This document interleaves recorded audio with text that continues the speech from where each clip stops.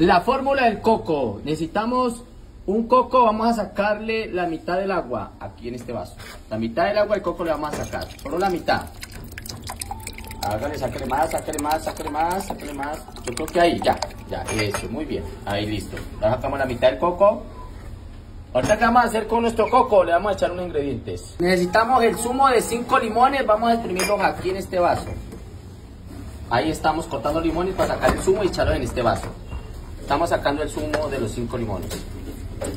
Vamos a agregar el zumo de limón, de los 5 limones, al coco.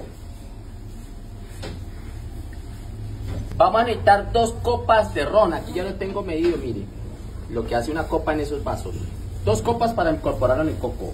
Vamos a agregar las dos copas de ron al coco. Vamos a necesitar dos copas de miel de abejas y se la vamos a echar en nuestro coco también. Vamos a agregarlo al coco las dos copas de miel de abeja.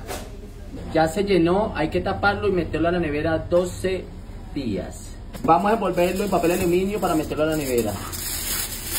Lo metemos a la nevera 12 días, a los 12 días lo sacamos, lo colamos, lo escurrimos, lo filtramos y tomamos una copa tres veces al día para los bronquios, asma, sinusitis, gripas rebeldes, para gran cantidad de enfermedades respiratorias. A los niños también le puede dar.